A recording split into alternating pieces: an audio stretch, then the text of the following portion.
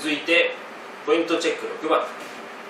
現在父の年齢は38歳で子供の年齢は12歳9歳7歳です。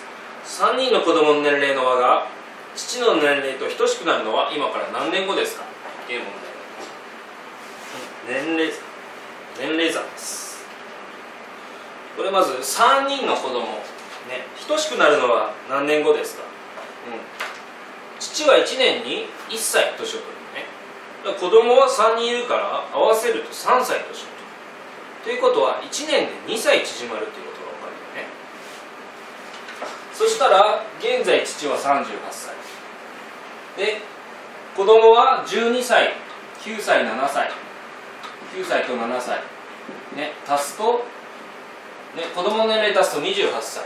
で父は現在38歳なので現在の年の差は10歳。ね10歳。10歳差がある。ね。でそので10歳の差を1年間に2歳ずつ縮まるので10割る2で。5答えは5年後となります。いいかな